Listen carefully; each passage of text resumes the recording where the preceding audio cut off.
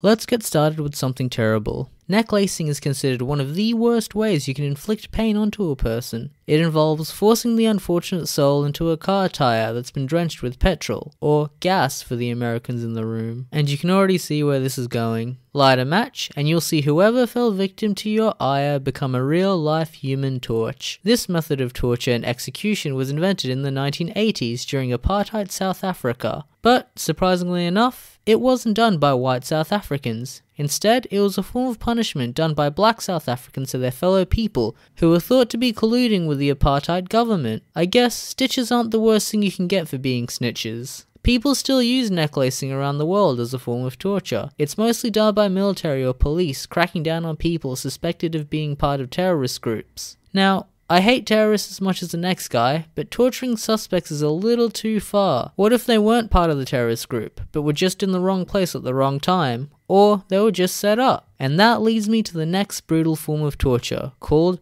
becoming an askari. Askari, originally meaning soldier in Persian, is also a term that was reused during apartheid South Africa to describe a defector of the liberation movement that went on to collaborate with the government, so pretty much a snitch. The black South Africans didn't like snitches. Look back to the first torture method to know what they did to them. But what's more heinous about this form of torture is that the apartheid government knew what would happen to people considered an askari. So, what the government would do is first capture a few political activists that didn't agree with the government's regime. They would wait until news of the activist capture was broadcasted all over the country, so that all their fellow activists could see that their friends were being taken away.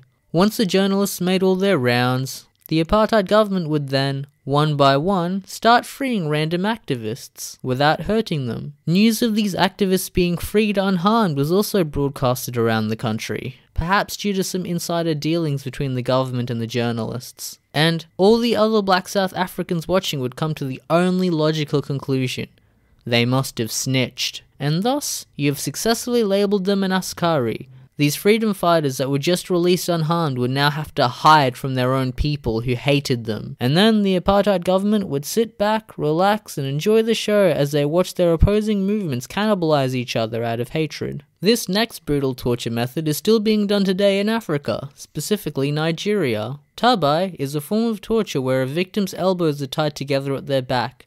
This, by itself, doesn't seem too bad. Here, try putting your elbows together at your back. You can't do it, can you?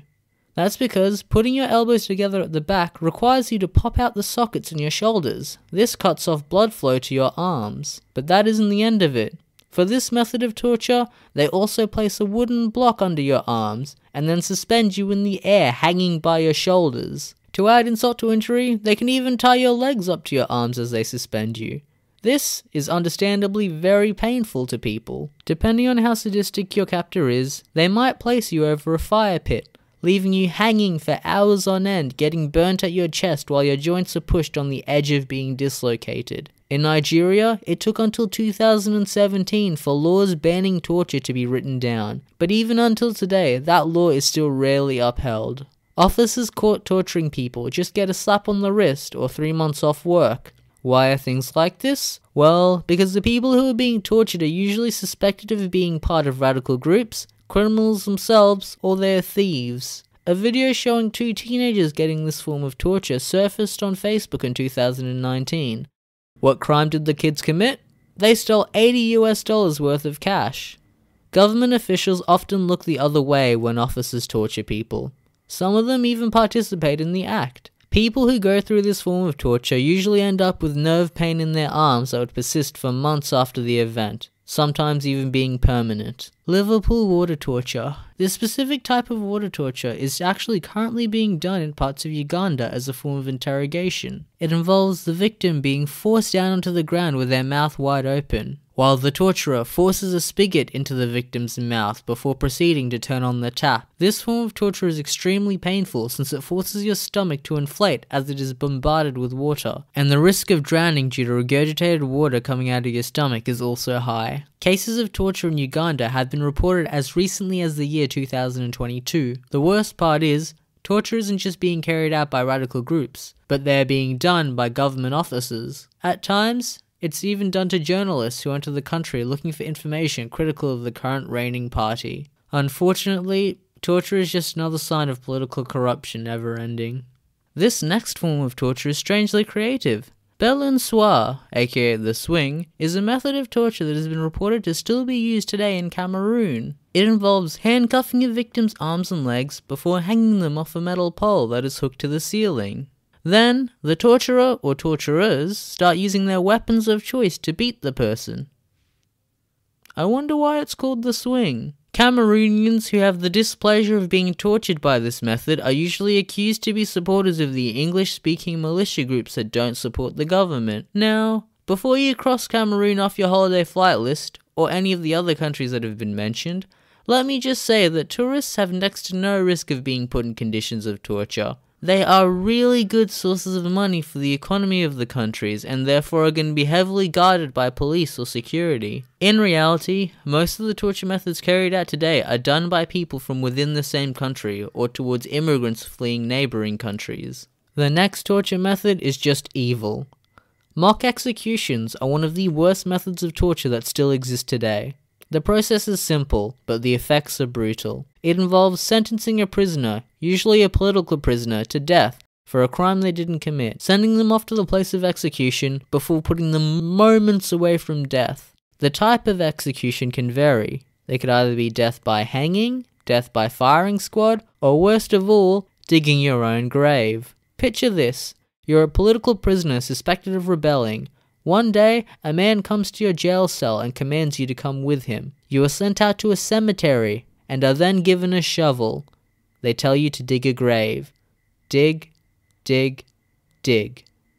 You know the entire time the grave is meant for yourself as you keep on digging. The man who would be your executioner staring you down from behind while he is holding his gun. You dig down until the hole is deep enough for your entire body to be submerged. Then, the executioner points their gun at your head. It's time. You panic, dreading for what's to come. Then, blam! Nothing happens. They fired a blank. You're then sent back to prison. Hey, that doesn't sound too bad, right? All you did was dig a hole. But the psychological torture is brutal. Victims of mock executions often come out traumatized, leading to cases of depression, anxiety, or PTSD. Eventually, the psychological trauma is enough to push people over the edge. Torturers often do this to break down the psychology of political prisoners, to force out false confessions, or to just scare their opposition into submission. Fortunately, most of us won't ever have to experience these torture methods, since they only really occur in places in the Middle East and Africa. But in the Western world, it's not that hard to find people who've experienced something similar. Just go have a chat to an immigrant family that you might have seen around. You might be surprised to find out how much they had to suffer to get into a first world country. If you like this video, please subscribe. Thank you for watching till the end. Okay, bye.